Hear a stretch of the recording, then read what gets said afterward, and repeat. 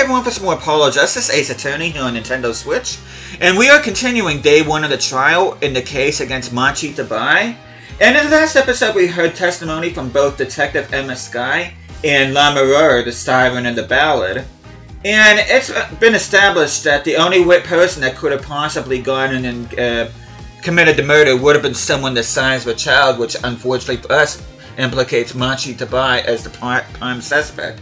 But hopefully we can get some testimony here from Ema, which she is slated to go back on the witness stand, and hopefully we can get something here to try at least clear the air a little bit around our client. But before we do that, hope you guys have an awesome day today. Hope you guys doing well. So without further ado, we are going to go ahead and hear testimony from Ema.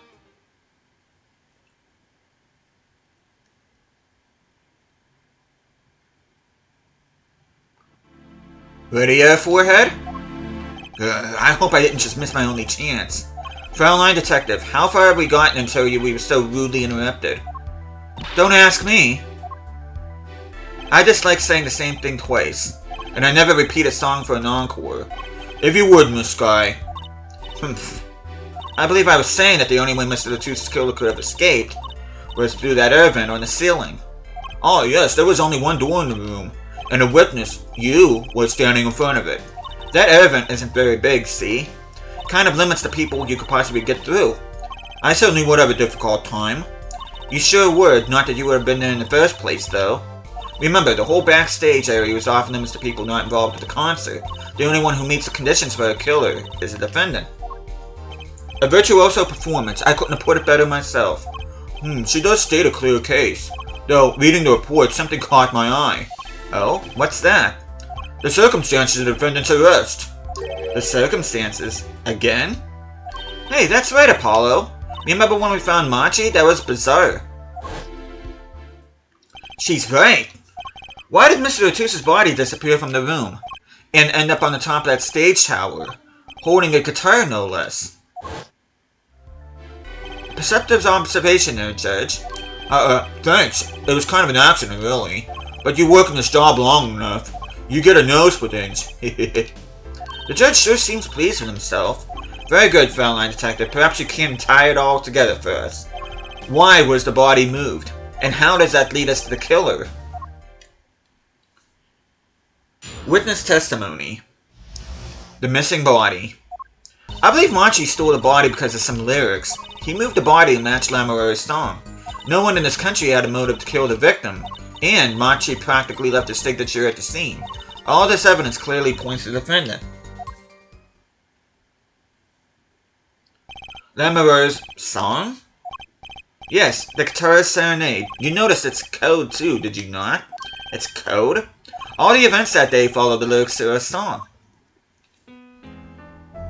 First, the keys my heart held onto so tightly was stolen. Then Prosecutor Gavin Satura burst into flames on stage. Mr. LeTouse's life was taken by a bullet. The rest hardly needs explanation. Guitar, guitar, up together to the sky. That's mad. It's like a story out of some fairy tale. I admit I'd forgotten about that song. But there it, is, there it is now, waiting for me, the grand finale, as it were. Hey, you know I was the one who first noticed that. I've heard of jumping rope to songs and counting the songs. But killing? It's a wild world out there, Herr Judge. Very well. We've heard one song and dance, let's get on to the next. The cross-examination. Why am I having trouble saying cross-examination lately? It's not that hard to say. I'm not so sure I'm going to be doing much singing. Cross-examination. The missing body. Okay, she believes Machi stole the body because of lyrics. Moved the body in a song. No one in this country had motive to kill. Machi practically left his signature at the scene. What do you mean by his signature? The bullet holes in the wall, of course. The bullet holes. The revolver was fired, twi fired twice. One shot missed and left a hole in the wall. And that means what exactly? That dressing room isn't exactly spacious.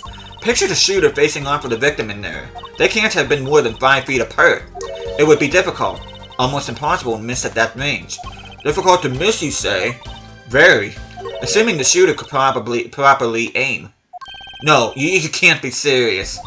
Machi, he, he can't see. That's why he missed? It's the only explanation that makes sense. He used sound and other senses to fire the gun. Poorly. That reminds me, the monitor in that room was blaring at the time, yeah? Hardly ideal conditions for tracking by sound. A blind shooter. No wonder he missed. I knew those bullet holes would come back to haunt me. Think, Justice. What do I do now? Well, only thing we have to do now is raise and reject it. Sure, there were bullet holes left in the wall. But that doesn't prove the shooter couldn't see. Oh, how so? Well, there could have been a struggle with the victim. Hmm, that's certainly that's certainly possible. And it might have been the revolver's fault. The revolver? The revolver was a very large caliber, correct? If the shooter wasn't used to firing such a large weapon, why, it could dislocate the shoulder. Exactly. The defendant Manchi Tobaye is, as you can see, tiny. It's not so hard to picture him firing gun and missing entirely. That kickback alone would throw off his aim.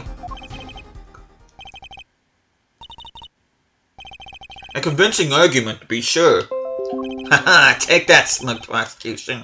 Um, Apollo? Huh? What? That bit about Machi being tiny, and the gun throwing off his aim? Um, aren't you kinda, um, admitting that he did it? Oh.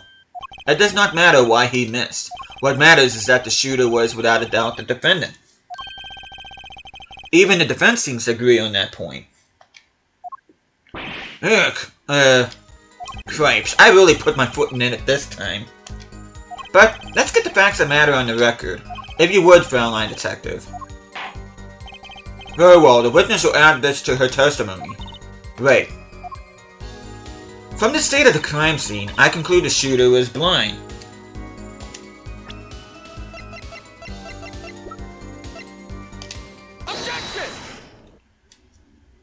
The prosecution holds that the shooter couldn't see. A scientific conclusion based on a thorough examination of the crime scene, yes. Apparently not thorough enough. I have a certain piece of evidence that completely overturns your claim. What? This is that evidence. The photograph of the crime scene? I don't care much for the smirk on Prosecutor Gavin's face, but this is no time to think twice. Time to press on. Yes, Your Honor, the crime scene. There's something in here that decisively contradicts the prosecution's point. Then perhaps you'd better show us this something. Get your finger out of the breeze and put it to good use, yeah? Very well, show us what you talk about, Mr. Justice. The contradiction that the scene of crime is... Well, what about this? The contradiction is right here. The smeared bloodstains. Hmm. I thought it was just my blurry vision, but it really was blurry. The way the victim's hand is raised above his head, much like a gesture I've seen many times in this court. It sounds almost as if he wrote something. Aha, I get it. At least, I think I get it. Get what, Fraulein? When Mr. LeTouse was shot, he tried to write something. And what would he write but the shooter's name? And what would he write in it but his own blood? Pretty good, huh? Thanks for making my point for me. Yes, in fact, that's what I think happened here. Hmm, that does seem to be a distinct possibility. The victim wrote the killer's name. It's certainly a logical conclusion, I just wish it wasn't all rubbed out like that. Of course it's rubbed out. Why, if I were a killer, I certainly wouldn't want to leave my own name behind. Neither would I. Um, no one has anything else to say? About what? So the prosecution, prosecution accepts this? You agree this was the victim making an attempt to record the name of the killer? And that the killer tried to rub the name out? What's your point? What's my point? Let me ask you this. How did the killer know the victim was writing their name? Well, Mr. Chus was writing something in blood. Hey there, Seb. Once the killer saw what it was... Wait. Once he saw what it was? But what did you just testify about the shooter? I said they were blind. Ah! Yet the crime scene itself contradicts that. The killer had to have been able to see. Why would they rub out the name of blood otherwise? Ah, Ah! May I remind the court that the defendant Machi Tobaye is blind? He couldn't have been the shooter. Ugh. Impossible! Order! Order! Order! Prosecutor Gavin, please explain to me what all this means. I mean, looking at this photo, it seems quite clear that the shooter quit see. Yet up until now... It seems I owe the court an apology. Hmm? The Gavinners are a band with law enforcement ties, yet a murder occurred. During our concert, apparently this caused some confusion over jurisdiction. As a result, some reports were not filed in an entirely timely manner. I, I'm not sure I like the vibe I'm getting here. Hey Apollo, look at him. Why is Prosecutor Gavin relaxed and smiling like that? Like he knows something we don't, and he's about to tell us. I've got an idea. Let's rock! With these documents, but before that, I have a question for the Fraulein detective, if I may. But what? Tell me, why do you think that Machi Tobaye is blind? Huh? W what did he say?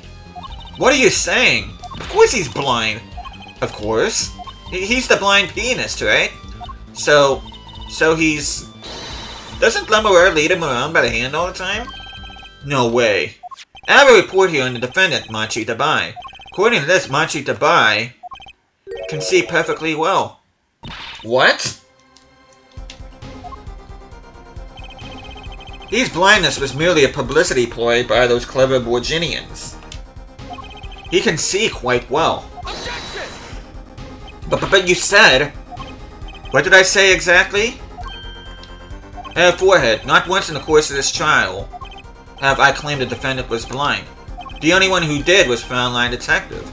But, but that's a significant fact, yes? Consider, Machi Tobaye sees. And he was the only one who could have fled through the Irvine. I see no problems with this. But what about the bullet holes in the wall? Yes, the bullet holes. I believe our forehead neatly explained those for us. He didn't miss because he couldn't see. It was a kickback from 45 caliber revolver. A simple accident, in other words. Ugh! How is that?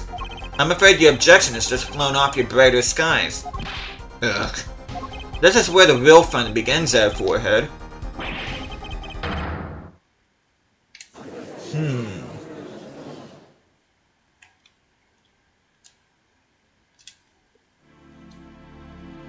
I knew you didn't have what it took. You, you jerk! Just what I was, just what was I in here for? Comic relief? Yeah, apologize. oh, sorry. That's no way to apologize. He's angered the Trucy now. Look out. If you could please end the bickering. No. Whatever, I'm not leaving. I can't leave like this. I'll come up with some clue to solving this case if it kills me.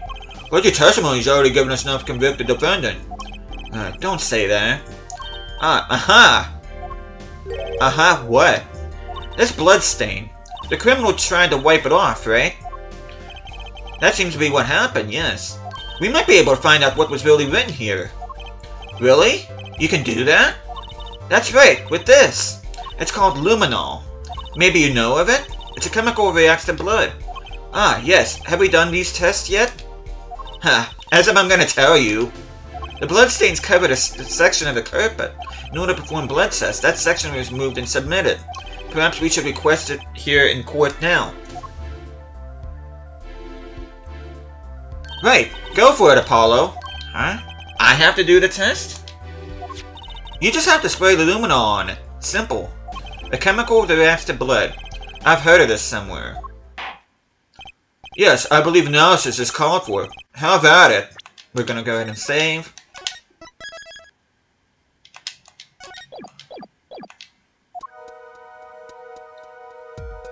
Okay, ready? It's easy as pie. Just press A to spray an area. Here, give it a try.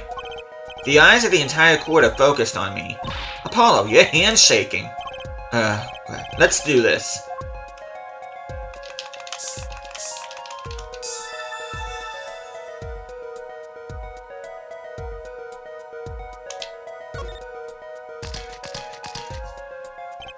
Wow, it really works! This must be this must be the power of science. It says IPXX314206. Is that the killer's name? Hmm, maybe it is. If the killer was a robot. Aha, I have it. So what is it? I thought those letters IPXX looked familiar. This is an Interpol ID number. Uh, Interpol? You mean the International Police Agency? Yes, most are undercover agents working solving international crimes. But why would he write that number? Why would Mr. Atus even know a number like that? Good show, Fraulein Detective. Rock on. Eh? Your Honor, we can verify this number immediately. Daryan, are you there? Come up to the witness stand.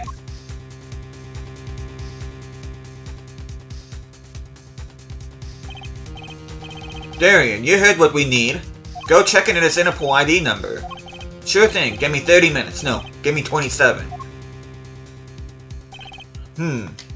I'm not sure what to think of all of this. The prosecution's case is airtight, or so it seems. Yet if this number is really out of an Interpol agent... Oh, wait, I know. What if Monty Devine's really an undercover Interpol agent? That would be a possibility. Possibility, yes. The one that would mark him as the killer for certain. Why did the Tooth know an Interpol ID number? That's what I want to know. Well, we have some time while we await Daryan's report. Let's work on unraveling another mystery, shall we? Curious mystery concerning Machi Tobaye. What are you talking about? Fraulein Detective, please accept my apologies. I received word that the defendant could, in fact, see just before the trial began. It seemed too much of a bother to tell you. You had me until that last bit. Does this not raise a rather straightforward question? Well, sure. Why did Machi pretend he couldn't see?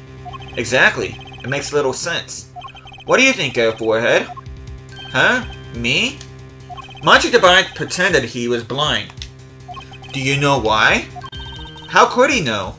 Wait, Gavin knows why, doesn't he? He's known from the start of the trial. He's been leading this on the whole time. Hmm? Something wrong? Do you think perhaps this is all some kind of game? You know, no, at the moment I heard that report, I knew why. Hmm. I suppose people who have sold over a million records really are something else. What does that have to do with anything? There was a reason why Machi Tobaye pretended to be blind. But it wasn't for his own sake. Getting the picture now?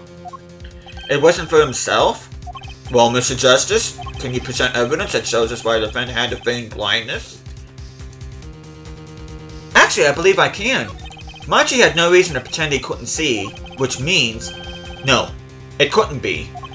Good show, Herr Forehead. It seems you've thought of something. Ugh, why can't I figure these things out on my own? I hate having to take my cues from this guy. Very well, look at this. This is why he was pretending he couldn't see. It was because of this. That is, Lamiroir? Lamiroir and Machi Tobaye. Recall their relationship, in particular their unique arrangement over the years before visiting our country. Lamiroir and her pianist, they would always walk together, she leading him by the hand. Even when they got on stage, she would lead him to the piano. She would walk all the way over there with him. That's right, because he was blind. She led him at all times, never letting him go. All times? Hmm. Yet, we have just learned something that makes the arrangement peculiar indeed. Machi could see. Why did they have to keep up this act the whole time? Well, wasn't a part of their performance? I think there's a simpler explanation. Machi did not need to be led by the hand at all. That can only mean one thing. Ah. Uh, really? Really. It was all the other way around. The one who needed to be led by the hand was Lamiroir. What's this? So you mean to say Lamiroir sees? Yes, Your Honor. Lamiroir is blind. What? What?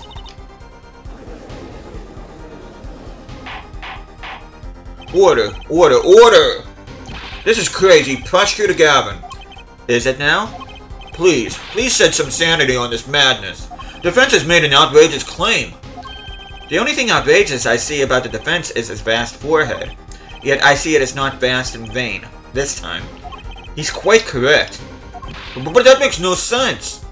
Yeah, wasn't she supposed to be the landscape painter and sound or something?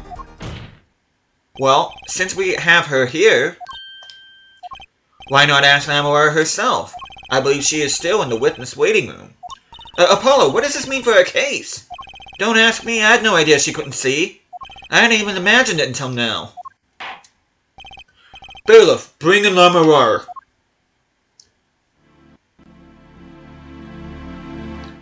Lamiroir, it pains me deeply to call you before us again in this way, and yet I must. Please, do not be concerned on my behalf. Those eyes, she really can't see? Really? It is true.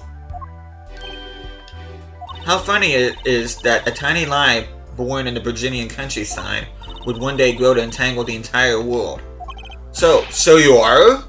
Yes, as I mentioned before, I have no memory of the time before I became Lamiroir.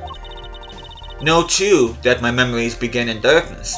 The word light has no meaning for Lamiroir. I see. You may recall me saying something toward the beginning of this trial, Forehead. What's that? I believe I said it was unfortunate this crime had no direct witnesses. Ah. Now, Lamiroir, I must ask you to stand once more. Will you testify to the court about your eyes? Of course. It was never my intent to deceive any of you. May I begin, Your Honor? Uh, yes, yes, of course. Though I admit, I'm a little lost here. I think we're all a little lost here, Your Honor. Witness testimony. Lamiroir's eyes. I have no memory of the light. I debuted in a world of darkness and sound. My producer came up with my PR line before he knew this. So, silly as it may sound, I had to pretend I could see. Everyone on my staff knew, of course, but no others. But, this is a murder trial! I apologize. It was part of my contract, you see. It was to keep my blindness a secret no matter what. Music is everything for me. I never imagined something like this would... She told us the truth in the beginning, when she said she saw nothing. Very well. Does defense have anything to add? Let me go ahead and save.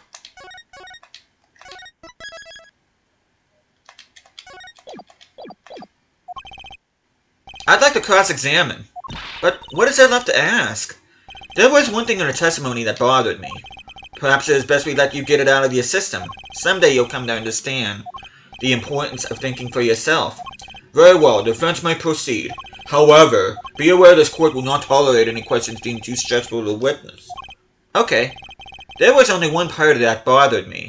Just let me ask about that and I'll be happy. Cross-examination. Lamiroir's eyes. She has no memory of the light. She debuted in the world of darkness and sound. Her producer came up with a PR line. Series of made sound she had to potential she could see. Everyone in her staff knew, of course, but no, that's the part that's bothering me. When you say your staff, do you include Mr. LeTouse? Of course, he was my manager.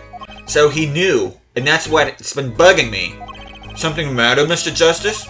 I believe I know what is bothering a young defense attorney. You were thinking of when you discovered the body, yes? Is he right, Apollo? Yes, I was. Mm-hmm. He, he's a lot- I'm not reading this again. This is getting irritating.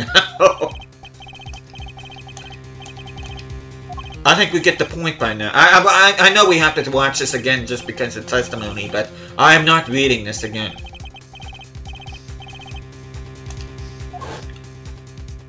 Mr. Chief told me to ask the witness, and he named you. Why would he do that? He knew you were blind. I, I, I don't know. Tisk tisk. What did I just say? You need to learn to think for yourself. Meaning what? There is no mystery here if you recall everything he said. Think of his last words once more. The witness, Siren. We heard them many times along with a little play acting by our defense. I remember them well myself, but that statement is not to what I refer. I mean what he said before that. Before? What came before that? Ah! That's right. He tried to tell you. When he said can't see, he wasn't talking about himself. He was talking about the witness. I see. Too bad the defense did not. Well, Herr Forehead, try relaxing and looking at the facts first next time. I love that face he makes. Order! Order! Recall Lamiroir's earlier testimony. I was on my way from the stage to the backstage exit. There were two shots. I couldn't do anything to stop it. But she couldn't have heard those gunshots. I thought we proved that. That is not the most important point here. Hmm? The moment he was shot, Mr. Tooth witnessed her through that window. Why else would he have named her as the witness? Ah! But I really did hear them. Two gunshots and a man's voice. Unfortunately, such a thing was impossible. The window was closed. We have already run a simulation, of course. But it was so clear, if I had heard that voice again, I would know it in an instant. Hmm. Your Honor! What is it, bailiff? Can't you see we're in a session here? We have the results back from the investigation. The investigation? Ah, the Interpol number that Mr. Tooth left us. Well, let's hear it. We will continue this cross-examination afterward. Detective Crescend, your report, please.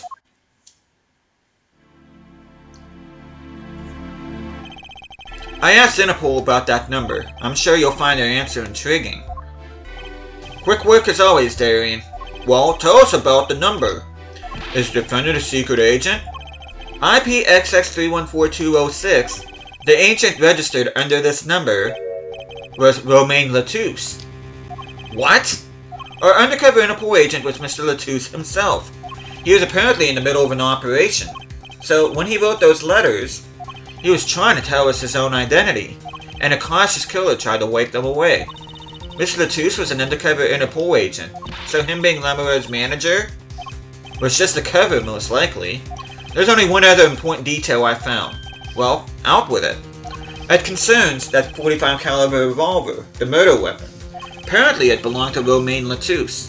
He had an Interpol permit to carry firearms, and a registration number and revolver match.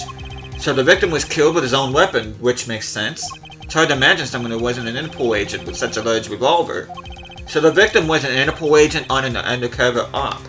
I wonder how that ties into everything. It's got to tie in somehow, you'd think. Yeah, somehow. Thanks for looking into that for us, Detective Crescend. It's a great help. Oh, no problem at all, Your Honor. I'll be heading out.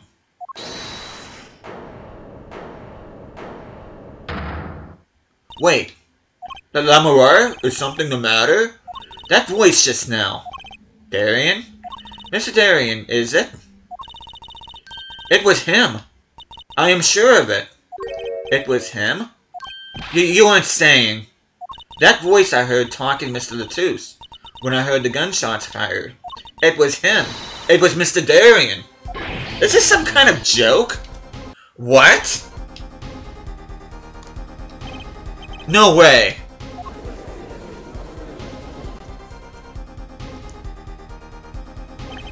The courtroom fell into such a chaotic state, the trial had to be suspended temporarily. I'd never seen that happen before. Of course, it's not every day that you get an accusation like that one. Lamiroir, fingering Daryan Crescend. Not only is he a guitarist, he's a detective. Could it really have been his voice Lamiroir heard? Things were changing fast, and frankly, I wasn't sure I could keep up with it. Hey, no wimping out now, Paulo.